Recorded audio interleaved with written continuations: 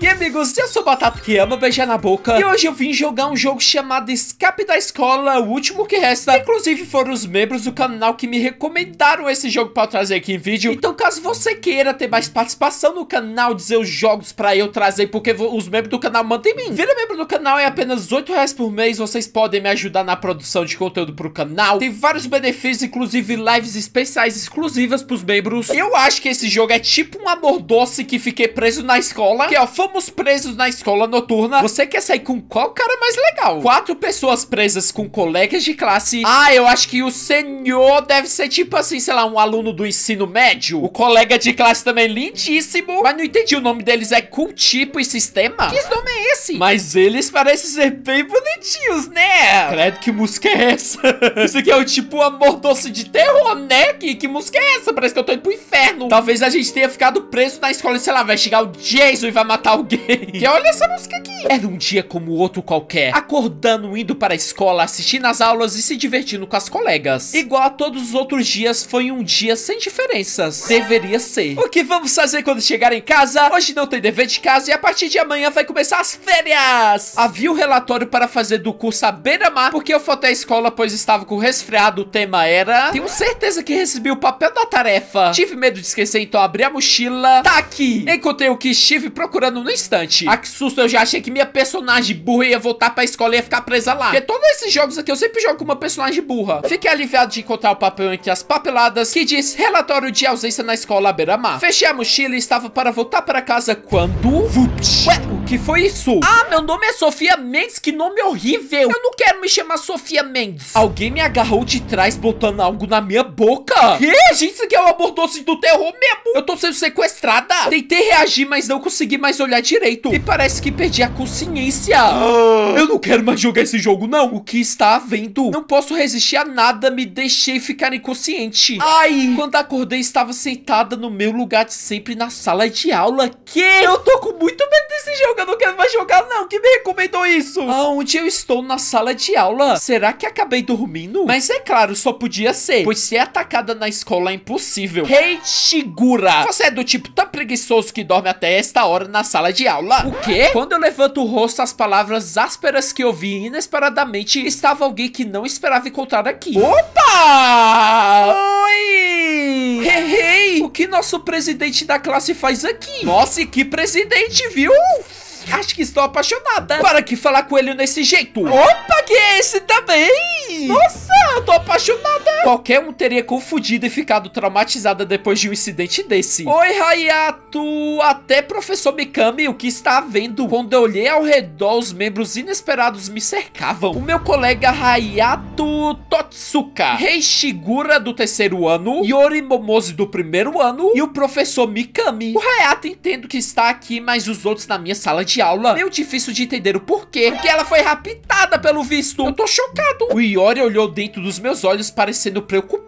Tem toda razão, foi atacado de trás assim, não foi? Espera aí, então quer dizer que aquilo não foi um sonho? E por que eles me raptaram? Alô, polícia! Aí, então foi isso, sabia? Não foi sonho não, Mendes. Na verdade, nós também fomos atacados. Que? O rei e o professor concordaram. Então, pera, uma pessoa raptou essas cinco pessoas e colocaram na escola de volta aqui? Então vamos denunciar a polícia. Sim, todos nós queremos fazer isso. Mas parece que fomos trancados aqui. O professor apontou ao quadro que haviam letras grandes escritos com giz branco. Escapem. As portas e janelas estão todas trancadas. Nossa, isso tá parecendo aquelas salas que você paga pra entrar e você tem que escapar, sei lá, em 60 segundos. Não, 60 segundos, não, 60 minutos. 60 segundos não dá pra fazer nada, né? Como diz no quadro, se não escaparmos, não poderemos denunciar a polícia que levar o celular além de todas as nossas coisas. Acho que levar os meus também. Não creio que o fato de você ser mulher haja exceção. Eles me avisaram para procurar nos bolsos do meu uniforme e tentei mais nada, nem um lenço. Não tenho nada. Mas não fique desapontada, Mendes. Se os nossos celulares foram roubados, não há nada que esperar. Vamos encontrar um jeito de sair daqui. Mas com esse tanto de homem bonito, eu acho que eu nem quero escapar, não. A gente pode fazer outra coisa enquanto a gente espera alguém vir salvar nós. Ele começou a examinar o quadro e a mesa do professor. Desculpe, eu não devia ter deixado levar o meu celular. Olhe, como já lhe disse antes, não se preocupe. Não deve se culpar. Nossa, mas esse aí acho que tá tudo bem. Ele tá tipo assim, ah, você foi sequestrado, eu também, mas tá tudo bem, viu? Eu já ia estar tá em desespero, assim, gritando com todo mundo, gritando, batendo nas portas, socorro. Mas estamos aliviados que você não se machucou, Mendes. Vamos só pensar em sair daqui logo. Professor Mikami Iori. Sim, tem razão. Temos que encontrar um jeito em vez de ficar triste. Nossa, já se livrou da tristeza, né? Claro, temos que sair logo daqui e derrotar o suspeito. Vamos! Ah, ah. Estamos todos juntos, temos que ter coragem. Né? Mas com esse tanto de homem bonito, eu ia querer escapar dessa sala. Eu ia querer ficar trancada mesmo. Talvez a Sofia Mendes, que arquitetou todo esse plano pra pegar todos os crushes da escola dela, botar na sala pra ela pegar todo mundo. E a gente tá achando que foi um suspeito, um criminoso. Então, acabaram com a conversa mole? Encontrou algo? O Hayato interrompeu o Iori, que tentou reagir, e Rei Shigura mostrou um envelope.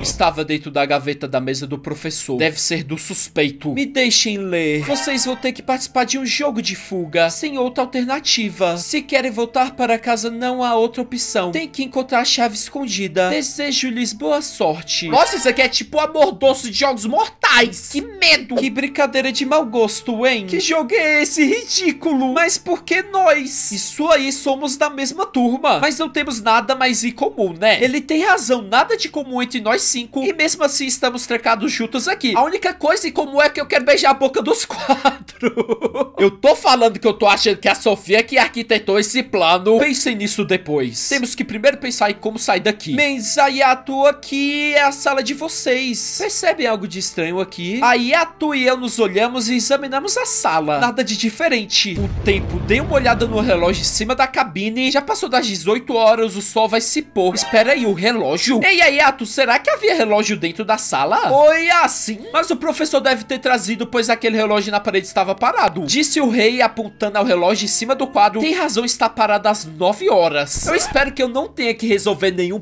puzzle, alguma coisa aqui, porque eu sou burro e não vou conseguir decifrar o enigma aqui do Selbit. Vou ligar agora pro meu amigo Selbit pra ver se ele me ajuda aqui no enigma. Alô, Selbit? Mas é estranho, não lembro de ter visto isso nessa manhã. Se o relógio parou hoje, então o ponteiro curto deveria estar depois das 9, não é mesmo? A escola começa às 9, então se estiver funcionando nesse horário, é natural pensar que o ponteiro deveria estar mais na frente. Eu tô entendendo é nada.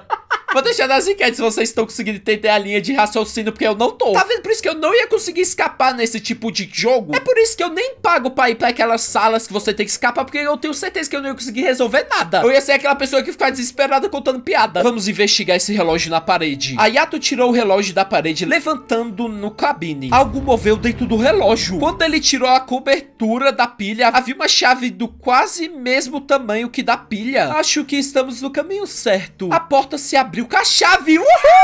Pera, então já escapamos da escola e é isso? Nossa, abriu! Mendes, você é um gênio. Agora deixa minha boquinha em compensação. Conseguimos! Viva nossa líder! Ai, que bom, agora poderemos finalmente sair daqui. Estive preocupado, mas graças a Deus, enfim, poderemos voltar para casa. Eu acho que tá muito fácil pra ser realidade, né? O Yayato tentou abrir o portão da frente dizendo, vamos embora logo. Ué, não abre. O quê? Óbvio, né? Até parece que ia ser tão fácil escapar assim.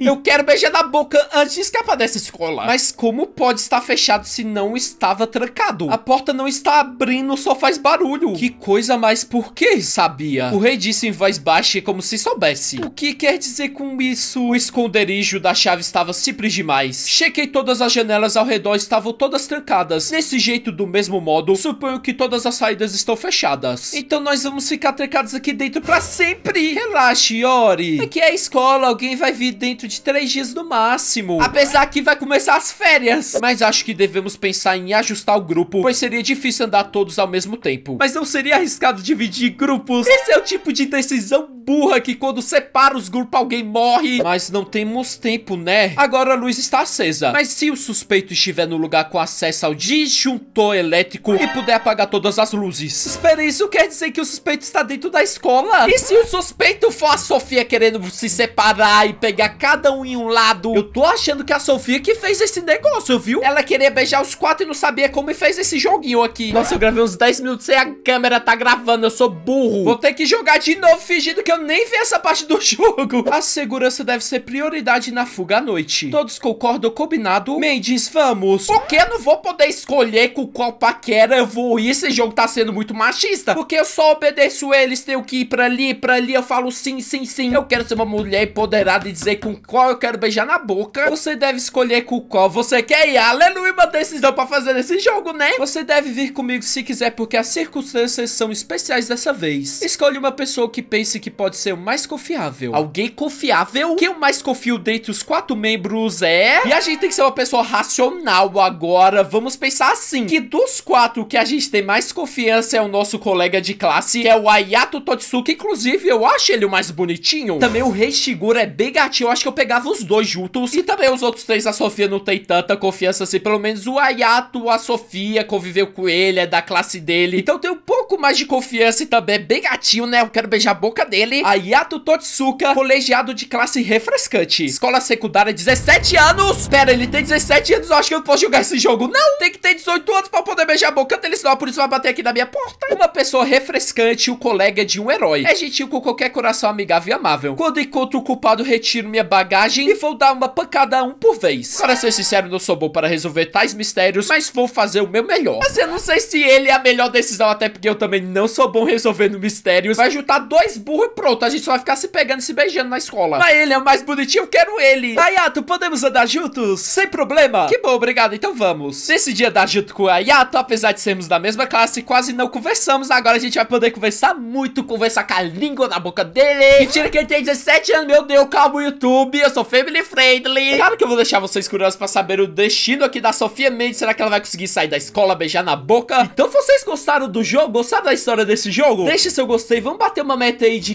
15 mil likes pra eu estar tá trazendo o jogo novamente? Então compartilhe esse vídeo com um amigo seu, um amigo, uma prima, uma tia, sua mãe. Obrigue eles a estarem gostando do vídeo pra eu estar tá trazendo esse jogo de volta, que eu achei a história bem interessante, não vou mentir. Não se esqueça de se inscrever no canal para não estar tá perdendo mais nenhum vídeo. E eu espero você no próximo vídeo do canal.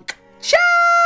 Deixa seu like, que, que, que, que, compartilhe, li, li, li, li, pra ajudar o Batata a ficar famosinho.